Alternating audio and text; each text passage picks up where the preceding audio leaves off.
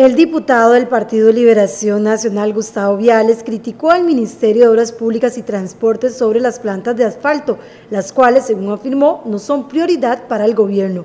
Indicó que a pesar de ser más baratas, existe negligencia en el MOP para su funcionamiento, por lo que prefieren contratar a un privado.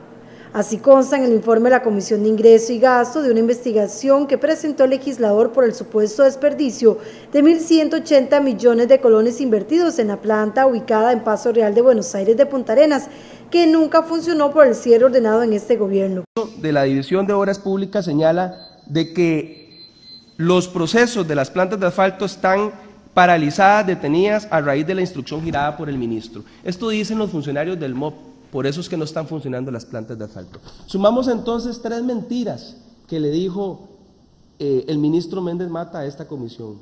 Y seguimos la ciudadanía esperando que estas plantas se reactiven y que pueda llegar el beneficio a la gente y que se puedan optimizar los recursos a los cuales todos los días se presupuesta para tenerlas en operación. Respetuosamente, eh, me parece que se deben de agregar algunas recomendaciones a ese informe, que sea como dictamen de la comisión al plenario. Una, desde luego, a la Contraloría General de la República, porque su denuncia fue vaga y no generó los resultados ni la investigación esperada.